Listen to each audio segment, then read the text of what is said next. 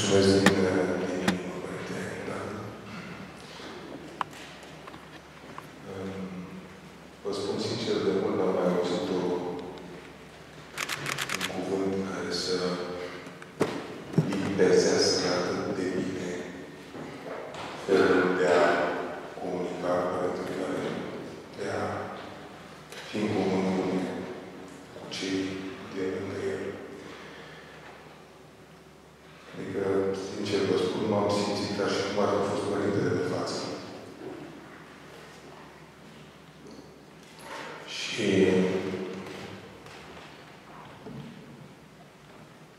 tot cuvântul Părintele vine în minte că nu este nimic întâmplător, ci totul ironeator. În aceste zile trecem toți printr-o uh, tensiune de acest tip schizoid, având în vedere lucrurile care se petrec în societate și ne ne căutăm argumente în, în această dispută care se poartă. Și nu odată mi-au zis mie, poate am zis și tare, dar mie mi-au zis de multe ori pe zi, acum aș avea nevoie de tine, bunicule, ca să să-mi dai un cuvânt care să fie mai uh, ușor de... care să arate cine suntem noi, care să îmbrăște puțin vărul uh, ambiguității.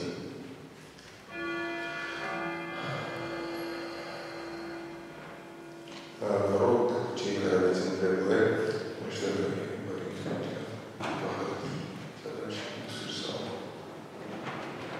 Dacă cineva nu are curajul să, să se exprime, dar dacă are, putem începe deja. Vă rog doar de fiecare dată, dacă se poate să vă deplasați aici. Să intrați în cameră. Cum înțeleg copiii libertatea? Sunt uh, doctor, psihiatru.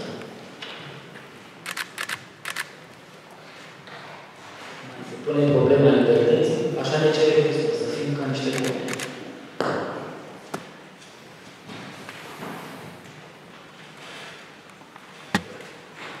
Copiii... Depinde ce înțelegem prin copii acum. Există un moment, mai degrabă să înțelegem altfel. Zicem cu, cu, cu un cuvânt de la facere care spune că inima omului e plecată spre răutate încă din cele mai fragede tinerețe ale lui. Dacă înțelegem prin copilărie vârsta până la, să spunem, undeva 6, 7, 8 ani, momentul în care apare discernământul, atunci libertatea copiilor cred că se aseamănă cu libertatea îngerilor, care știm că după momentul răzvrătirii lui Lucifer, îngerii care au rămas, Sfântul Arhanghel Mihail a spus să stăm bine, să stăm cu frică, să luăm aminte.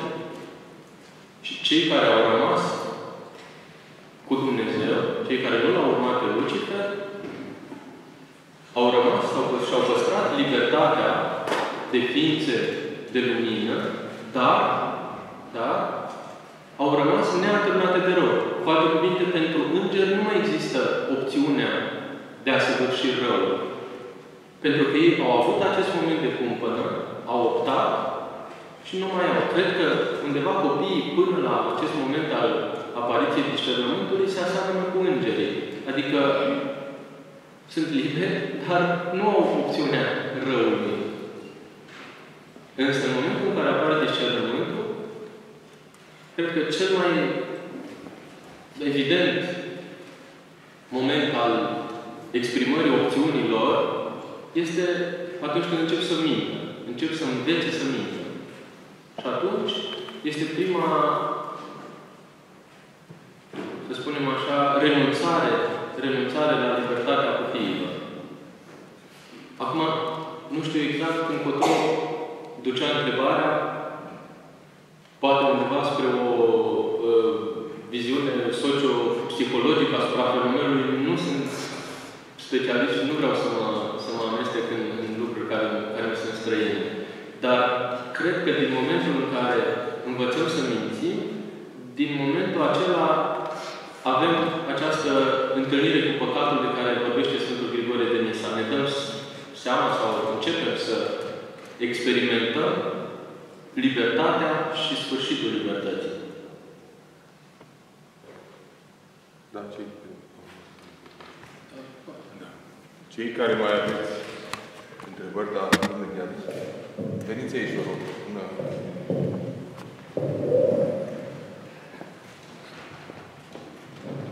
Părinte Sfinția voastră, vreau și o întrebare.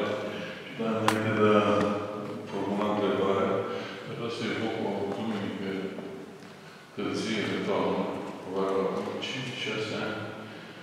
Dumnezeu m-a înumărat să vă spun liturghie la Măstirea Rășca și acolo, intrând în atmosfera liturghiei, la un moment dat, a început să cânte grecești. Am ridicat capul și am văzut mai mulți preoți care cântau grecești.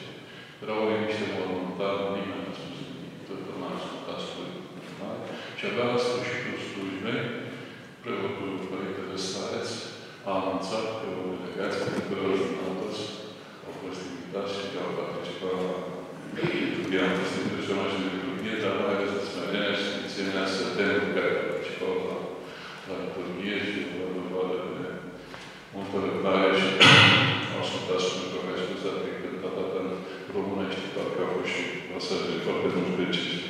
Vreau să vă întreb, dat fiind faptul că am înțeles că ați fost mirean și ați trecut la viața monahală, noi cei care suntem mireni și ducem o viață civilă, ca să spun așa, paranteză că e spus, am mare contact și cu, și cu viața monahală și am vorbit și cu mulți Sfinți Părinți care au ales această cale.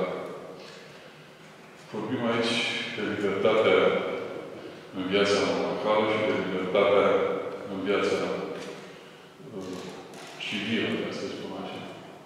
După părerea mea, mult mai multă libertate aveți dumneavoastră în viața monahală și în viața uh, pusnicilor, ca să spun așa, decât noi, care ne simțim strânși și constrânși de tot felul de reguli, regulamente, obligații și mai departe. Întrebarea este simplă. Putem nădăjui pentru mântuire și în această viață?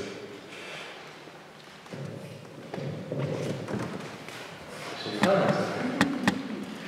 Siguranță și cu multă nădejde. Multă nădejde, fiindcă Dumnezeu ne știe slăbiciunile. Dumnezeu ne vede pe toate. Dumnezeu nu-i străin de niciun fel de china nostru și de toate aceste încercări ale noastre. Dumnezeul nostru, Dumnezeul nostru, atunci când a vrut să ni se facă cunoscut cu totul, ni s-a făcut cunoscut venind într-un trup al nostru, răbdând toate durerile și slăbiciunile și neputințele, răbdând ocări, răbdând cele mai mari prigoane chiar de la cei pe care îi iubea cel mai mult, cei în mijlocul cărora venise să le descopere împărăția și Dumnezeul nostru este răstignit pe cruce. Dumnezeul nostru este un Dumnezeu al jertfei. Și de asta, cu cât unde este jertfă, acolo este mântuire. Aici nu este îndoială. Unde este jertfă, este mântuire. Iar pentru frățile voastre care sunteți în lume, s-ar putea ca jertfa să fie uneori chiar mai, mai mare decât a noastră celor care sunt în mănăstire. Sau, să spunem așa, măsura jertfei. Măsura jertfei care este pusă în față să fie mai mare și atunci nădejdea de mântuire este și mai mare. Doar să primim crucea. Atâta tot. Să primim crucea și să cerem mereu ajutor de la Dumnezeu. Noi ne mântuim prin har. Sfântul Pavel pune, pune acest, acest accent iară și iară și iară. Ne mântuim prin har. Ne mântuim prin har. Facem faptele noastre bune, le facem și lupta noastră așa în lume este ca să ne deschidă pentru Duhul Sfânt. Sfântul Serafim de Saros spune scopul vieții omenești este este numai și numai primirea Duhului Sfânt. Așa că Dumnezeul nostru este un Dumnezeu bun. Și așteaptă să ne dea Duhul Sfânt și noi ne jertfim fiecare după puterea noastră și nădejdea ne este în rugăciune. Ne rugăm unii pentru alții.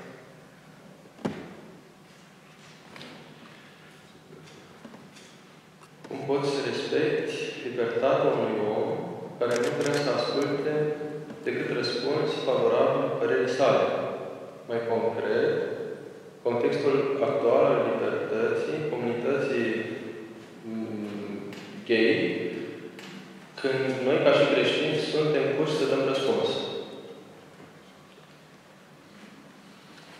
La acuzațiile că suntem atei, uh, suntem nedrepti, e posibil să avem avem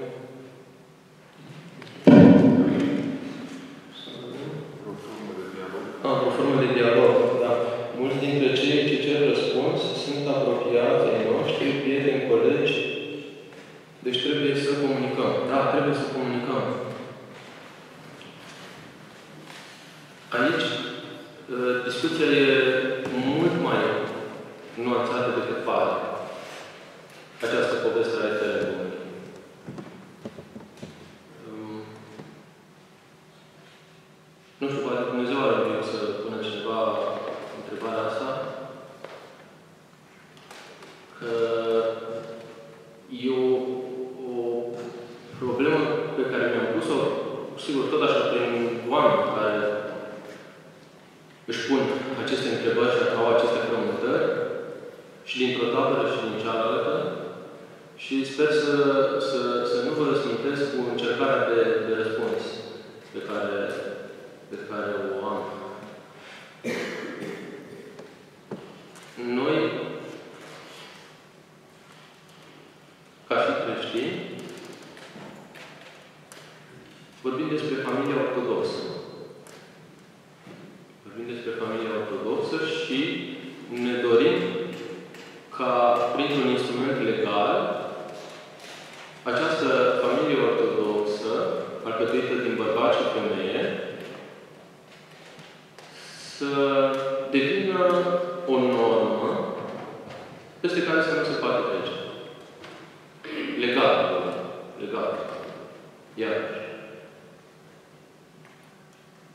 E un, uh, un studiu de caz, dacă vreți, uh, perfect pentru această confruntare, pentru această confruntare și această confuzie pe care de data asta noi ajungem să o facem, noi, ortodoxi, ajungem să o facem între sensul lumesc și sensul duhovnicesc. Deci avem nevoie, vrem, vrem această confirmare legală. Că familia trebuie alcătuită numai din bărbați și din femei. Nu e nimic în neregulă aici. Nu e nimic în neregulă. Asta credem, asta știm, că Dumnezeu a făcut bărbați și femeie, i-a chemat să fie una pentru naștere de prunci, asta știm. Mai departe, ceea ce iarăși ar trebui să știm, dar ne facem că nu știm, este următorul lucru. Cum a apărut această problemă? Fiindcă, dacă există o dezbatere, înseamnă că la un moment dat ea s-a născut de undeva. Nu a fost la un moment dat, printr-un fenomen supranatural, a apărut această întrebare. Cine sunt acești oameni, acești membri ai comunității gay care își doresc să li se recunoască dreptul de a forma o uniune, mă rog, zisă sau nezisă familie. De unde au apărut ei? De unde au apărut ei? Sunt de aici, de pe Pământ? Sau sunt veniți de pe o altă planetă? Și mai mult decât atât, s-au născut în familii din bărbați și femei alcătuite, ori s-au născut din familii alcătuite din bărbați și bărbat și din femeie și femeie. Sigur că s-au născut din familii alcătuite din bărbați și femei. Asta putem să punem deoparte. Și atunci, trebuie să mergem un pic mai departe. Și să ne întrebăm ce au văzut acești oameni în familiile lor creștine. E posibil, mai bine spus, să fi văzut în familiile lor creștine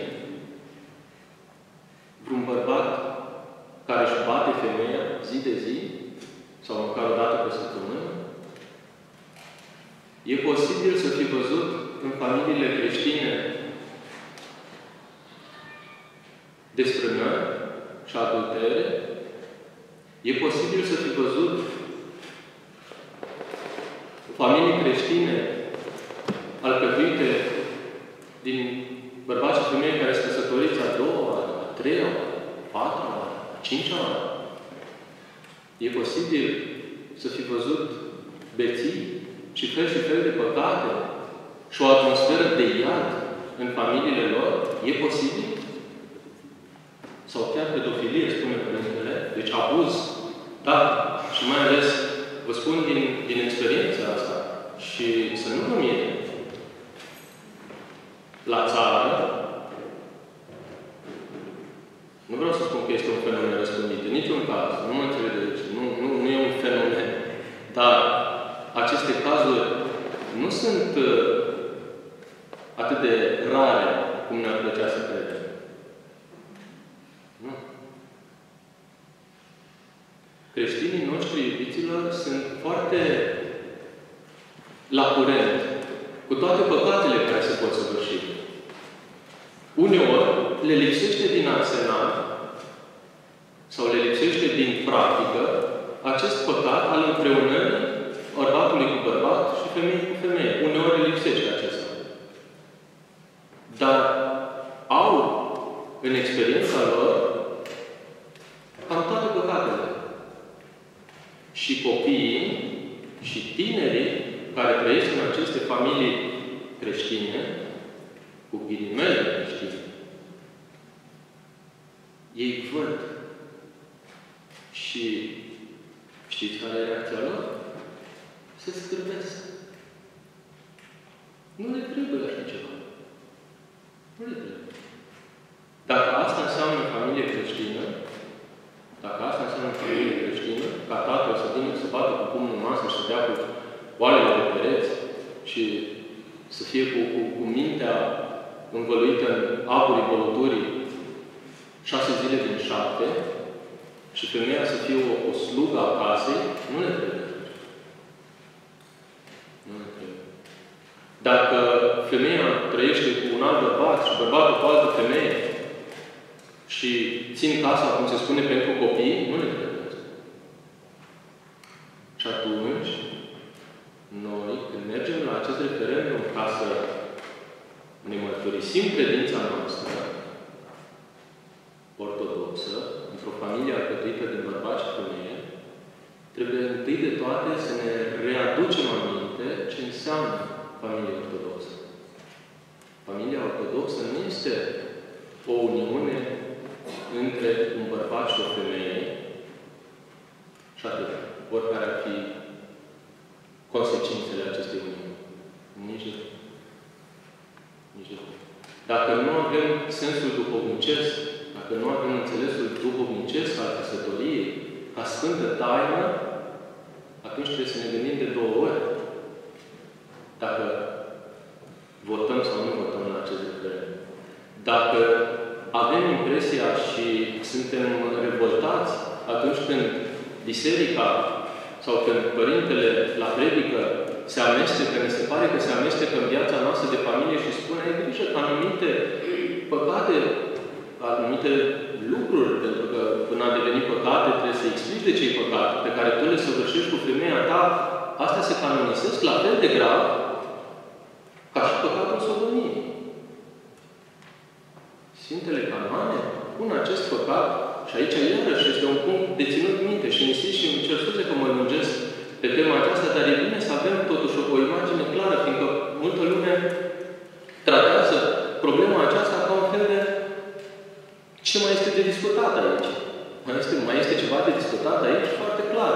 Oamenii ăștia sunt niște păcătoși, sunt niște animale, iar noi trebuie să ne apărăm de asaltul acestui păcat groaznic. Noi care suntem curați, noi care suntem familii creștine, trebuie să ne apărăm.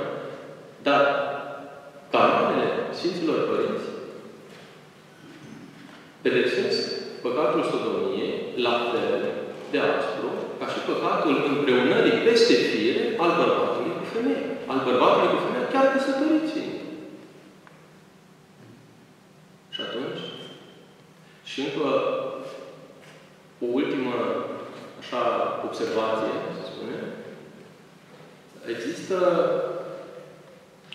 o prevedere, o precizare în Molitvei, cum că Sfânta Cununie, sigur, ea se poate săvârși după ce s-a săvârșit prima oară, în cazul unui divorț al unui dintre ei, omul se poate recăsători, să spunem așa, a doua oară sau a treia oară și spune acolo, iar a patra să nu îndrăznească să o facă niciun preot, nici măcar așa.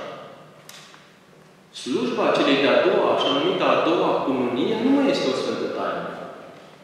Este o ierurgie, este o slujbă mai mult de pocăință, dacă ați asistat vreodată și dacă sunteți atenți la, la rugăciunile care se citesc acolo, aceea nu este Sfântă Taină.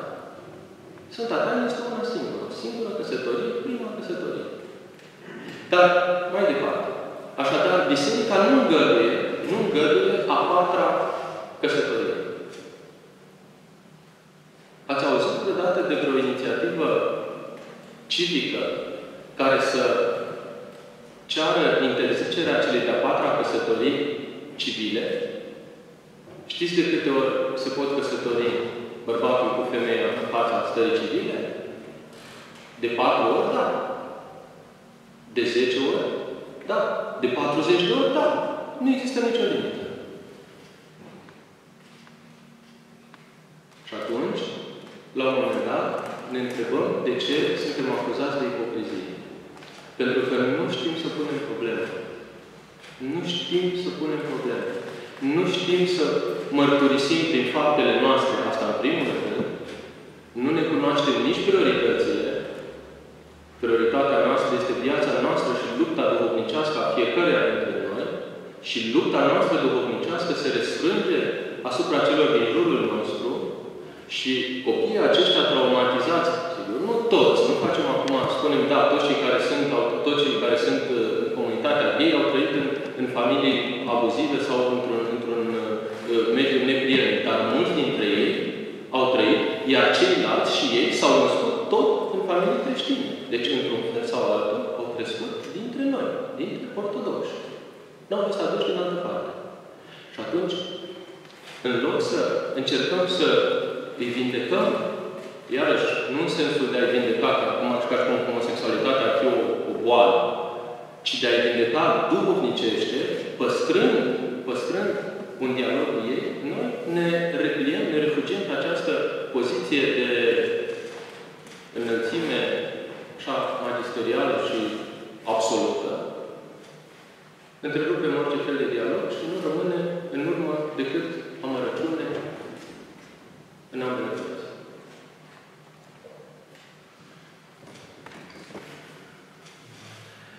Pentru că David se poate spune că libertatea de a pune începutul bun este primordială.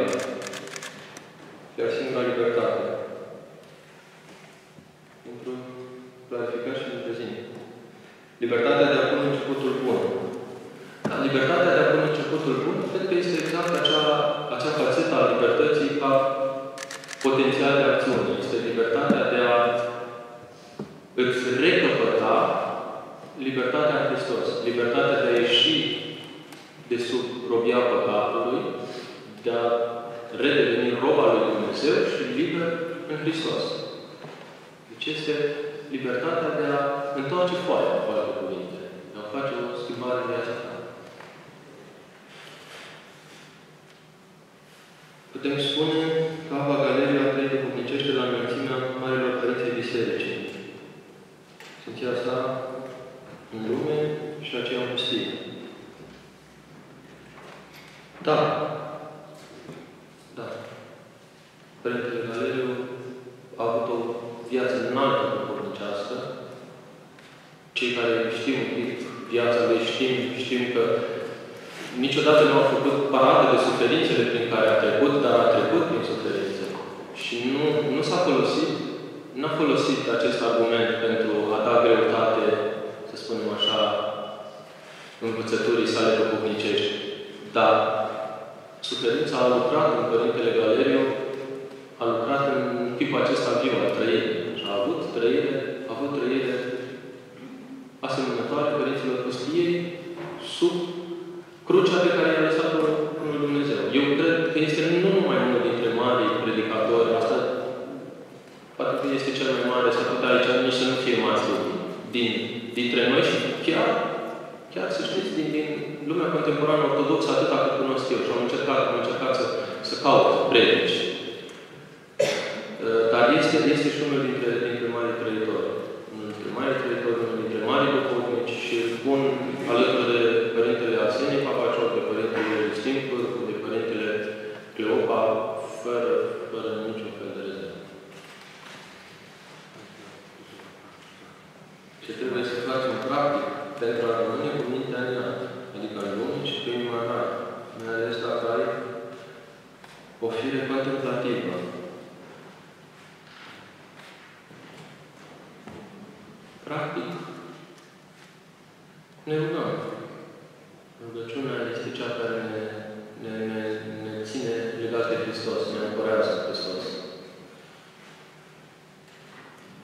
Deus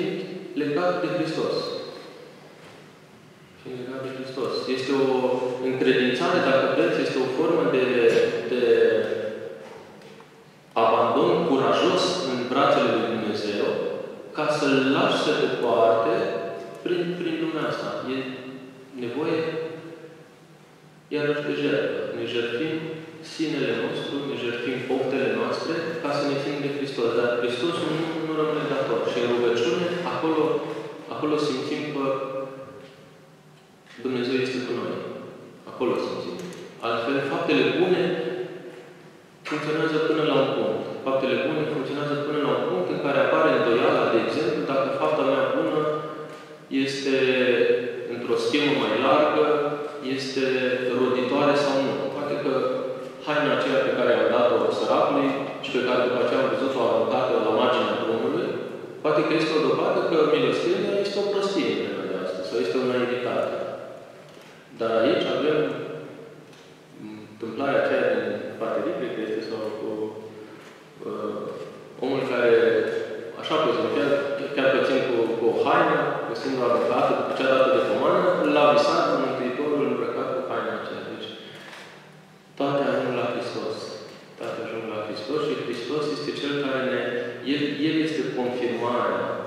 confirmarea luptei noastre de duhovnicești. În rugăciune.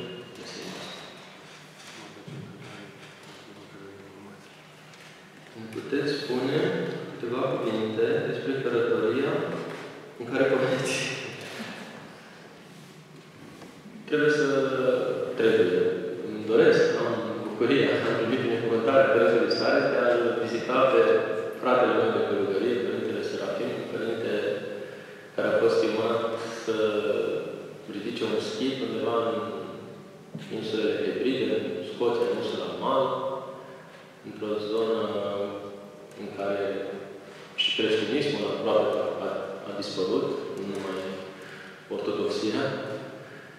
Este o biserică veche acolo pe care au cedat anglicani, au cedat bisericii ortodoxe române și Părintele